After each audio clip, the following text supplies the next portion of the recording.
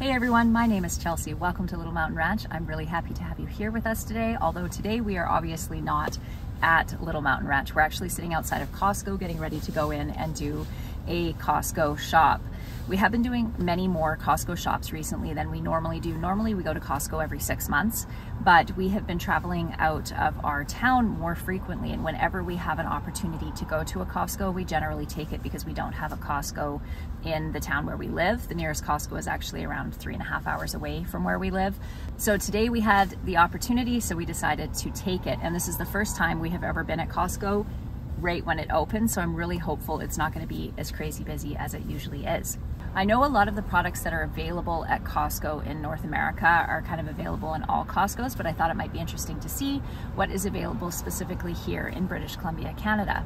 Also, all of the prices that we're sharing with you today are in Canadian dollars, and I think our dollar's running around 74 cents to the American dollar right now. So we're just gonna wait for the doors to open up and then head in there and do some shopping.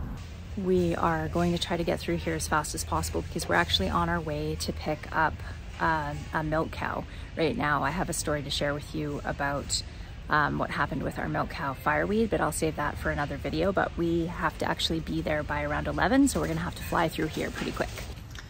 Okay, so we have organic olive oil here. For, stored in glass. Stored in glass for $22. So that's actually a pretty good deal. So we're gonna buy, should we do three of these? Yeah, let's get four of them. Price. Yeah, that is a really good price. It is, and it's extra virgin. Let's grab some mushrooms for sure. This is one of the treats that we always buy the kids when we go to Costco. We use almost an entire case when we have lunch, but they love it. I love better than bouillon, but it's usually really expensive. And today it's $8.99, which is $2.50 off. Okay, so $17.99 for pure vanilla extract. So we're gonna grab two of those. This is the brand of yeast that I buy for all my bread making, and then I just store this in the freezer. This is not a bad price for organic sugar. So buy two of those.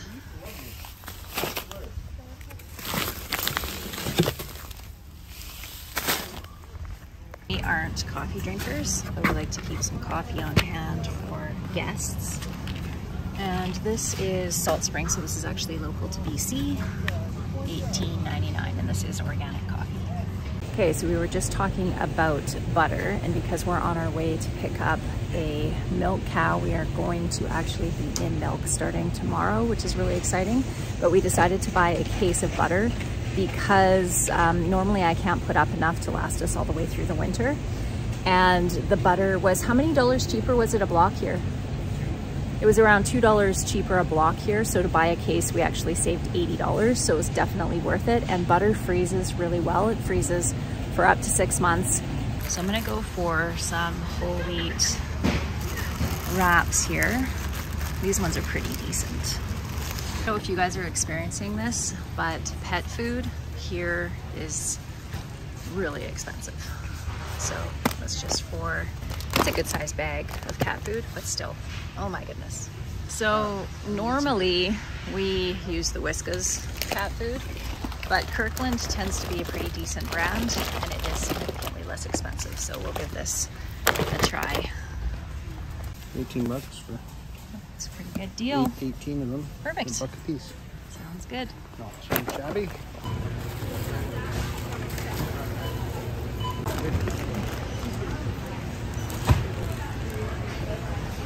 Okay, we're now done shopping at Costco. The van is full. Um, Dan's mom actually has the kids, so we were able to come and do this little bit of a trip on our own, which almost never happens. So that's been kind of nice. Um, we're heading now to go and pick up our cow, our new dairy cow, and I'll fill you in all about all of that in the next video. But once we get home, I will spread all this stuff out and show you everything that we got. And then we will also probably do a stock up of the pantry itself so that you can see the pantry if you have not seen it before. So we'll see you when we get home. Bye.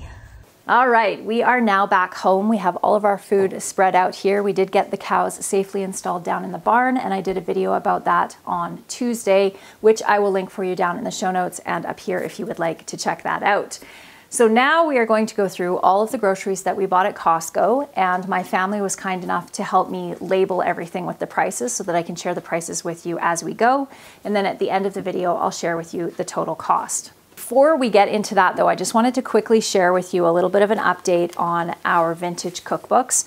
So over the last I don't know, probably two months or so, I have been sharing recipes out of some beautiful vintage cookbooks that my husband purchased for me for our anniversary.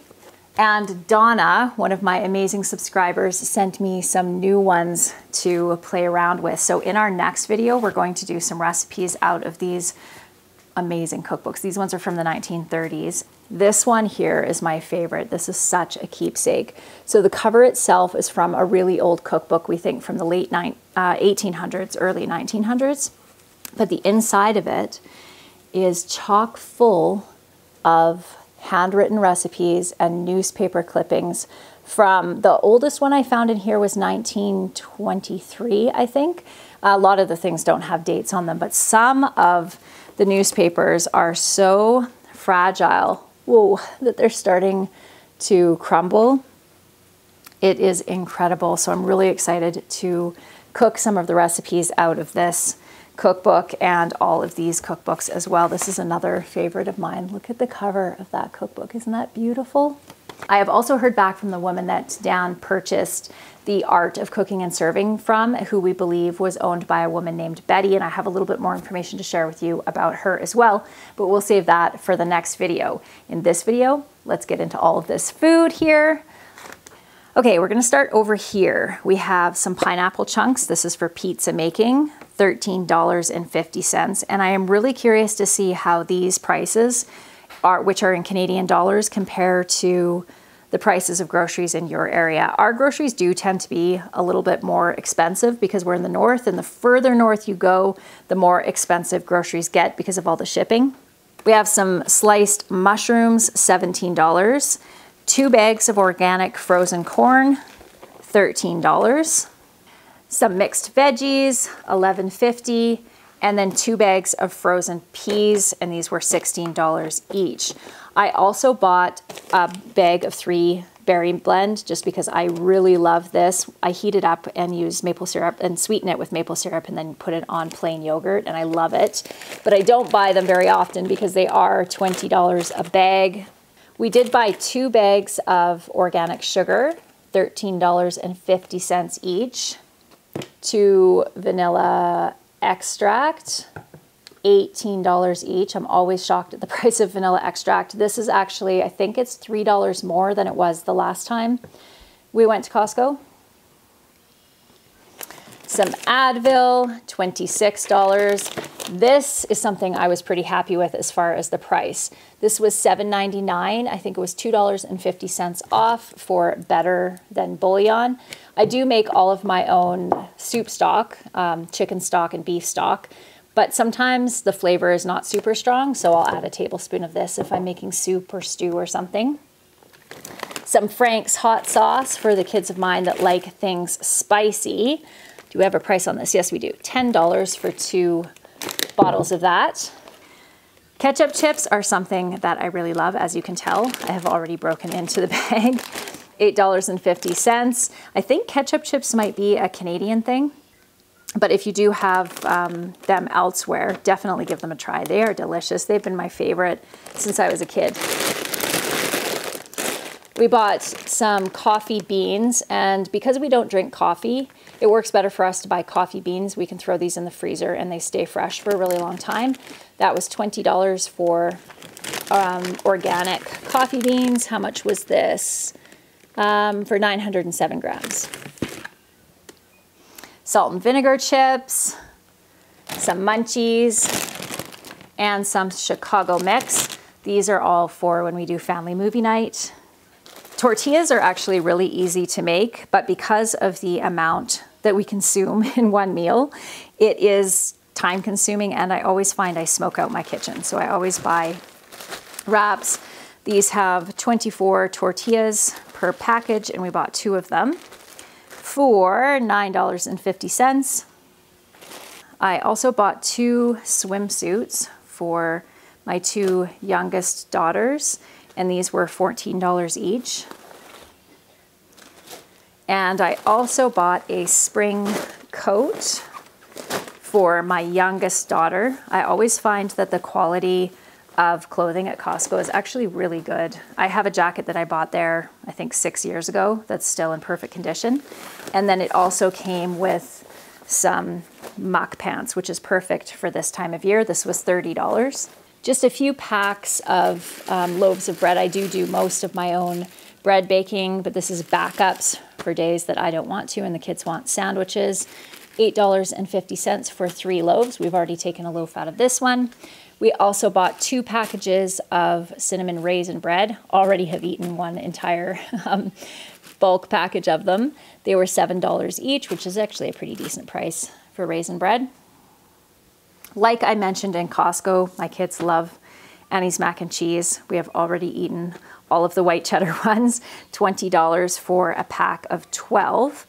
Dan bought these. These are sparkling ice water, $21 for a good size case.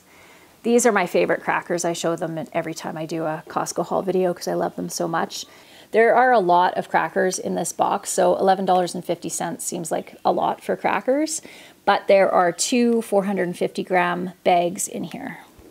We always buy a couple of boxes of granola bars. These are just easy things to throw into snack bags when we're going to be in the car for a while. So $13 and $14 for these ones. These are pretty much like a chocolate bar. Always buy lots of garbage bags, two boxes of these ones. These ones we use in the house. And these ones are, let's see here, industrial drum liners. And these are for our big garbage cans down in the shop. $13.50 for a 36 pack of seasoned roasted seaweed. These are really yummy. Three big bags, three bulk size bags of organic tortilla chips, and one of these bags will do us for nachos. So I bought three of those, and they were Dan's gonna grab the price off the receipt for these because I don't have it written down. This was a really good deal. $18 for 18 light bulbs, so a dollar a light bulb. And every time we go to Costco, I buy these garlic stuffed olives because they are delicious and I love them. Some craisins, we bought two bags of craisins, $14 each. The olive oil was $23.99 for two jars that are one liter each of organic olive oil. That's actually a really good price for us. So we bought four of those. And then the avocado oil, we bought this one for making mayonnaise, $17.99 per bottle. We also bought coconut oil. This amount of coconut oil is probably going to do us for at least six months, if not longer. We don't use a ton of coconut oil. $21.99 and if you store this in a cool, dark place, it will last for a really long time. $14.99 for our maple syrup. Good price for us. Okay, we have Pacific Salmon Burgers, $26. Always expensive. Salmon is an expensive thing. $18.50 for naan bread, which is very expensive, especially because naan is so easy to make. But there are, let me see, 12 naans in this. And we have some bacon. Dan's eating a lot of bacon right now, and we only have a little bit left of our homegrown bacon, but I am going to be doing some butchering in the next probably two weeks. So we'll be able to stock up our bacon again. We go through a lot of bacon around here. $16 for a three pack of bacon. And we are now in dairy, which is very exciting. So I won't be buying cream cheese anymore, but cream cheese does freeze really well. So we have two packages of Kirkland cream cheese, which is pretty good, $9.50 each. This is actually really nice butter. So we bought a case which has 40 pounds of butter in it. They were $4.49 a pound, so it was 100 and $80 or so for the case. We're also going to be in butter very soon here, but I can never make enough butter for our family. So having a case of butter that freezes really well, butter does freeze for a long time, is an awesome thing to have as a backup. These crispy sweet potato fries I'm really excited about because I love sweet potato fries so much. I haven't tried them yet, so if you've tried them, let me know what you think. But we bought three bags of these for $12.50 a bag. This is a two pound block of active dry yeast, $7.99. I just keep store my yeast in the freezer and it lasts for a long time. And I think that is it for the food. Okay, this I'm very excited about. This is a gigantic wok. My other wok has bit the dust. This one is a carbon steel wok and it's made without, you know, some of the nasty stuff that can be in nonstick um, bakeware. It's the Tramontina brand, and this is a good brand. I have used butcher knives from this company before, and they have done well for us. So I'm excited about that. Also bought some new measuring spoons and measuring cups. Altogether, these were $25.99. Super sturdy, good quality ones. And one of the things I liked about this one is it had a one and a half cup measure and I'm always doing things in large batches. So that is fantastic. This is the last thing that we bought that I'm quite excited about. So this is a drawer organizer and there are three for junk drawers, which I think is just fantastic. But this one is so awesome. It is expandable. Isn't that fabulous? So you can have it smaller if you need it to be, or expand it out if you need the extra storage space, which we definitely do. this is made with bamboo and it's lined with cork. One more thing over here, uh, we're doing a huge renovation in our basement, which we've actually pretty much completely gutted it. And this, these were really good quality. You could actually touch them in the store. They had some display models. $40 for all of the things that we need to hang up all our towels in the bathroom. Altogether, it was $1,833.32. I also bought some underwear, tank tops, and some lounge pants, but I already have those in my drawer, and they were somewhere around $15 each. So now what we're going to do is take all of this stuff down and get it put in the pantry, and I'll give you an update on where our pantry is at when we get down there. All right, here we are. This is my canning pantry. And Dan likes to keep everything faced. I've talked about this in previous videos. Um, so he likes everything to be up at the front because he thinks it looks nice, which it definitely does. But as you can see, we have tons of empty space behind almost all of these shelves, which is actually what I want to see six months into my pantry that we're actually consuming all the food we have here. So we've used about half, which is to be expected. So by November, our pantry will be restocked again with all of the stuff from this coming up canning season. But all the goal by November is to have all of this stuff consumed. The only thing that I've added in here over the winter is some tallow here. So this is rendered beef fat and some lard, which is rendered um, pork fat. Outside of that, this is exactly as it was when we did our pantry tour back in November, and I'll put a link for that down in the show notes and up here for you if you would like to check that out. Okay, this is our um, store-bought pantry, and what we're gonna do now is get everything stocked in here, and Dan is here to give me a hand with this. He tends to be the more organized of the two of us and keeps the pantry nice and clean and organized.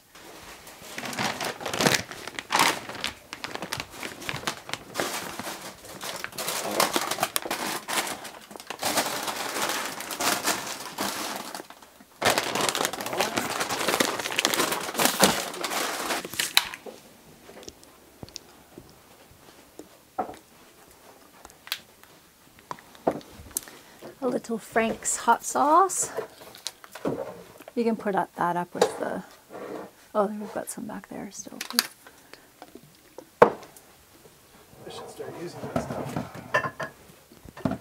Well, now that we have that nice big wok, use up that, um, what, what's that sauce, that sweet chili sauce up there? Make a stir fry with that.